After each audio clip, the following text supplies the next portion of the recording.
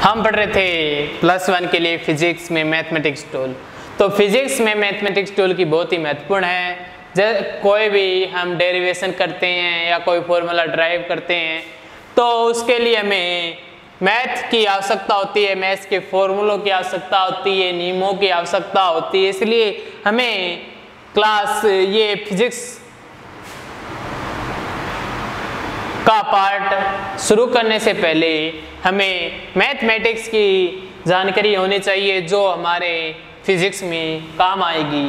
तो हमने पिछले भाग में पढ़ा था लेक्चर वन में कि जो हमारी अलजेब्रा सूत्र है, वो हमारे काम आते हैं। मैथमेटिक्स टूल में वो महत्वपूर्ण फॉर्मूले देखे थे, और इसके बाद हमने देखा था द्विपद द्विघात समीकरण के बारे में देखा, किस प्रकार हल होती है। तो ये हमारे फिजिक्स में बहुत ही महत्वपूर्ण। अब आज का जो टॉपिक है, वो है द्विपद पर में द्विपद पर में एक महत्वपूर्ण टॉपिक है, बहुत ही, जब तक आपके पास फिजिक्स है, द्विपद पर में उपयोग होती रहेगी। उस तक कक्षा में बहुत ही अधिक होगा। तो शुरू करते हैं द्विपद पर में तो आपको बताते हैं किस प्रकार ये है। जिस प्रकार x प्लस वाई पावर एक होती है तो इसको क्या लिखते हैं? एक्स की पावर एक प्लस वाई की पावर एक। अब ऐसा ये चल गया। अब x की, x प्लस वाई की होल स्केयर को किस प्रकार लिखते हैं? X की होल स्केयर प्लस दो एक्स वाई प्लस वाई की। इसी प्रकार x प्लस वाई क्यूब बराबर एक्स की क्यूब प्लस तीन एक्स स्क्र वाई प्लस तीन X one Y square plus Y जी। ये तो हमने देख लिया कि किस प्रकार ये हमें काम आ गई x प्लस में x की दो घातें, कितने घात है यहाँ? एक है, पद कितने प्राप्त हुए? दो पद। पद कितने? दो। घात कितने? एक। यहाँ पर कितनी घात है? दो। तो यहाँ पर पद कितने हैं? तीन। तीन पद प्राप्त होते। यहाँ घात कितनी है? चार। तीन घात है। तो यहाँ पद कितने इसमें हल करने पर? पद की संख्या चार। इसी प्रकार हम क्या किसको हल करना चाहते हैं? इसको फॉर्मूला इसकी x प्लस वाई इसका फॉर्मूला हम निकालेंगे तो यहाँ घात n है। पद की, जो पद की संख्या होगी n प्लस एक। ये हमें पता चल गया इनमें जो पद होंगे ये n है, क्या एक पूर्णांक नंबर है? पूर्णांक संख्या यानी n का मान है, वो माइनस में प्लस में कुछ भी हो सकता है। एक, दो, तीन, चार माइनस जैसे माइनस तीन, दो, एक ज़ीरो एक, दो, तीन, चार, ऐसी डिजिट कुछ भी हो सकता है।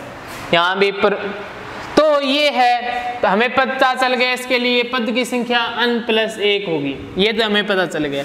अब ये देखिए, प्रत्येक पद में इसकी घात कितनी एक है? तो प्रत्येक की, प्रत्येक पद की घात क्या है जो एक है? सबकी योग। इसमें इसकी घात दो है, इसमें y की घात दो है। लेकिन इसमें x, y में क्या? एक x की घात एक y की। मतलब टोटल घात क्या होगी?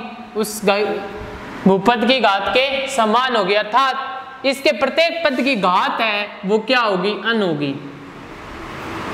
अगर जहाँ y की घात ज़ीरो है तो उसके साथ x होगा, वो n होगा। प्रत्येक पद किस रूप में लिखा जाएगा? x, y के रूप में लिखा जाएगा। जहाँ पर y की घात कुछ m होगी, इसकी घात n होगी।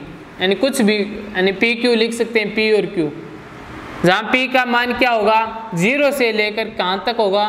N तक होगा क्यू का मान भी ज़ीरो टू n. लेकिन क्या हो गए? पी जैसे ज़ीरो टू n जाएगा तो क्यू क्या होगा? N two zero n zero क्यों से तो ये बात है। यहाँ एक्स की स्क्वायर एक है, यहाँ एक बढ़ रही है वाई की घात भी बढ़ रही है। यहाँ पर क्या थी? एक्स वाई की घात ज़ीरो थी। लेकिन अब अगले पद में एक्स की घात घटकर एक हो गई। इससे अगले पद में ज़ीरो हो गई। इसी प्रकार हम इसमें करेंगे। और इस पद में क्या एक्स की घात कितनी तीन थी? वही घात ज़ीरो है। इसमें एक्स की दो हो गई, इसमें एक्स की जी एक हो गई, इसमें ज़ीरो हो गई। इसमें क्या थी? वही की ज़ीरो, एक, दो, तीन। ये इस प्रकार बढ़ती रहेगी। तो हमें इसको सोलो करना है। तो पहले यही फॉर्मूला लगेगा। और दूसरी बात यहाँ। पहला जो पद है और अंतिम पद है, उन, उनके जो गुणांक है वो बिल्कुल समान आएँगे। ये जब सोलो करेंगे आप सोलो इसको सोल्व करेंगे तो ये समान आएँगे। और किसके बराबर होंगे? जितनी घात है उतने। तो इसको हम किस प्रकार लिखेंगे?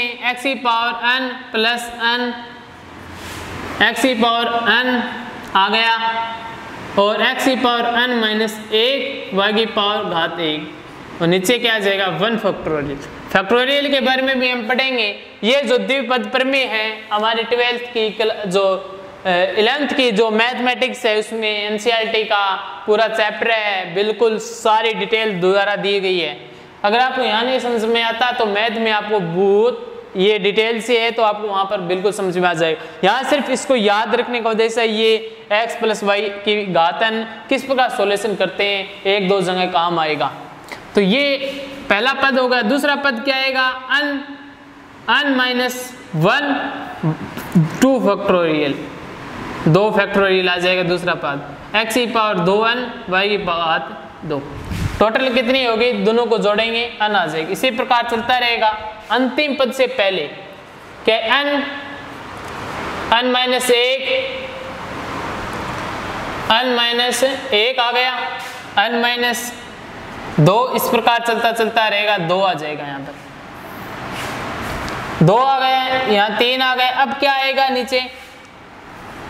एन माइनस एक फैक्टोरियल यहाँ एक्स की घात कितनी आ जाएगी? एक वाई की घात एन माइनस एक. ये आ गई अब अंतिम पद है उसमें क्या आएगी?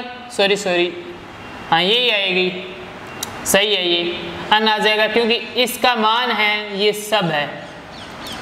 एक भी आ जाएगा तो अब वाई की घात क्या आ जाएगी? एन आ जाएगी। मतलब प्रथम पद की घात एक्स है। तो ये इसका एक प्रकार के सॉल्यूशन हो गया। अब फैक्टोरियल का क्या मतलब हुआ? एन फैक्टोरियल का मतलब एन एन माइनस एक एन माइनस दो दो, तीन, दो, एक तक। जितना मान है उससे, उस संख्या को लेकर, एक से लेकर उससे शुरू करते थे। जैसे दो फैक्टोरियल का मतलब है कि एक से लेकर दो फैक्टोरियल तक संख्याओं को लगातार गुणा कर दे।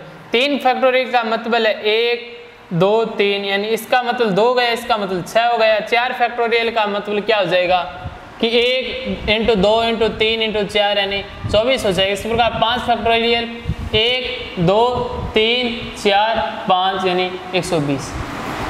और पाँच फैक्टोरियल किस प्रकार लिख सकते हैं? एक, दो, तीन, चार, पाँच। पाँच आ जाएगा। पाँच, ये क्या हो जाएगा? चार फैक्टोरियल इंटू पाँच। इस प्रकार भी लिख सकते तो ये सब है फैक्टोरियल का मान ज्ञात कर सकते हैं, यहाँ पर अन्य का मान कितना है? मान लीजिए दो है तो इसका मान दो आ जाएगा। ये काम आएगा, भी नहीं, ये इसमें रखेंगे n का मान दो दो दो दो, ये नहीं आएगा। एक ही बात है, इसका मान एक आ जाएगा, ये अगले पद काम नहीं आएँगे। तो ये सब चलता रहेगा। तो ये तो द्विघात का एक व्यापक समीकरण क्या है? प्रमेय, व्यापक समीकरण है। इस प्रमेय को हम मैथ में मैथ में सोलो भी करते हैं, ड्राइव भी करते हैं, इसको सिद्ध भी करते हैं। तो गणितीय आगमन सिद्धांत द्वारा इसको सिद्ध भी किया जाता है। तो एक इसका जो हमारे फिजिक्स में जो द्विघात प्रमेय फॉलो होती है, वो होती है ये, एक प्लस एक्स की पावर एन या एक्स क्या एक रियल संख्या हो सकती है। कोई भी संख्या एन भी एक संख्या पूर्णांक है। मान सकते हैं रियल संख्या भी हो सकती है कोई। तो ये इसको किस प्रकार करेंगे? यहाँ पर क्या है? इसी सूत्र में x के स्थान पर, एक है y के स्थान पर, क्या है x? तो इसको क्या करेंगे? एक आ जाएगा पहले, क्योंकि एक ही घात अन अब अन फैक्टोरियल आ जाएगा। एक ही घात अन है तो एक ही आएगा, x की घात एक। मतलब x की घात के रूप में बढ़ता जिस प्रकार y की घात यहाँ ज़ीरो थी तो y की घात बढ़ रही है और एक का कितना भी कीजिए, क्या आएगा एक? तो इस प्रकार x की घात बढ़ती रहेगी, एक फैक्टोरियल दो बार आएगा तो दो फैक्टोरियल आ जाएगा यहाँ पर। अब यहाँ पर क्या है? एक्स स्केयर आ जाएगा plus N N minus one N minus दो। क्या आ जाएगा? तीन फैक्टोरियल एक्स की पावर तीन। इस प्रकार ये क्या है? एक्स की पावर एन तक चलता रहे। तो ये इसका एक क्या है? द्विपद पर में ये इसकी क्या हो गई द्विपद? पर में। जहाँ फैक्टोरियल का मतलब तो हमें पता ही चल गया कि क्या है फैक्टोरियल लेकिन क्या है जहाँ पर x? यहाँ पर क्या है x का जो मैग्नीट्यूड है वो एक से कम है, मांग सकते हैं ये माइनस में भी हो, चाहे प्लस में हो एक्स अगर एक से छोटा है मतलब इसका मैग्नीट्यूड तो क्या होता है ये एक से छोटा है? तो कोई भी छोटी संख्या है, मान लीजिए एक है, एक की कोई भी घात बढ़ाते रहेंगे। एक की घात बढ़ाएँ एक कितनी भी करें, एक ही घात एक करी तो भी एक एक ही घात दो करी तो भी एक एक घात तो एक ही घात में तो कोई प्रभाव नहीं पड़ता। अब एक ही पॉइंट एक की घात स्क्वेयर करेंगे तो एक पॉइंट दो एक, अब इसकी तीन करेंगे तो वो भी इससे अधिक आएगा। जिस प्रकार क्या है, दो की घात एक की दो आया, लेकिन दो दो की घात की कितनी की दो, कितना आया, चार आया दो की घात तीन की कितना है? आठ है। मतलब बढ़ रहा है इसमें तो। क्या बढ़ता है, घात बढ़ाने से क्या है? परिणाम बढ़ता है। अब जो छोटी संख्या है, जैसे एक बटे दो है, इसकी घात की क्या की? एक की तो क्या आएगी एक दो बटा दो आई। अब एक बटे दो की घात स्क्वेयर की तो क्या आई? एक बटे चार। इसको क्या लिखते हैं? पॉइंट पाँच। इसको क्या लिखे? पॉइंट पच्चीस। क्या हो रही है? कम। जब x x लेस देन एक एक्स की घात n तो ये क्या हो जाएगी? ज़ीरो की ओर अग्रसर हो जाएगी। तो जैसे जैसे अब x का मान बहुत ही छोटा है, क्या है? x का मान क्या बहुत ही बहुत ही छोटा है। ये तो छोटा है तो x की जो उच्चतम घात है, वहाँ पर क्या होगा? उच्चतम घात, जहाँ पर x की उच्चतम घात होगी, वो पद क्या हो जाएँगे? शून्य हो जाएँगे। जैसे ये पद मान सकते हैं, शून्य हो जाएगा। ये भी पद शून्य भी हो जाएगा लगभग, क्योंकि एक्स स्क्वेयर बहुत ही कम है, एक से क्या है? इसका परिणाम बहुत ही कम है, कम बहुत ही कम दिखा रखा है, यानी पॉइंटों में बहुत ही। ऐसे एक पॉइंट एक है। तो एक्स की स्क्वेयर है, इसमें स्क्वेयर में क्या आ जाएगा? ये एक है। तो इसकी स्क्वेयर करेंगे तो कितना पॉइंट आ जाएँगे? छः पॉइंट आ जाएँगे इससे पहले। क्या आ जाएँगे? छः पॉइंट तो छः पॉइंट होने के बाद ये तो एक से और ही बहुत कम हो जाएगी। तो इस, इसका मान भी, इसको भी नगण्य मानते हैं, इसको भी नगण्य मानते हैं। क्या मानते हैं अगले सभी पदों को? नगण्य मानते हैं। तो यहाँ पर जो आएगा, क्या आएगा? इसको लगभग एक प्लस एन एक्स के रूप में लिखते हैं। एक प्लस एन एक्स के रूप में लिखते हैं। ये तो हमारा हो गया इसका मान फॉर्मूला द्विघात समीकरण का फॉर्मूला हो गया हमारा। जो व्यापक रूप से हमारे यही प्रमेय काम आएगी। जब x का मान हमें छोटा करना होगा अधिकतर ताकि दो ही पद में हमारा स्टेप हो या तीन पद जब आवश्यक हो तीन पद तक ले सकते हैं। स्केयर तक ले सकते हैं। जब हमें तीन पद चार पदों की आवश्यकता तो, तो क्यूब तक ले सकते हैं। ये चलता रहता है इस प्रकार।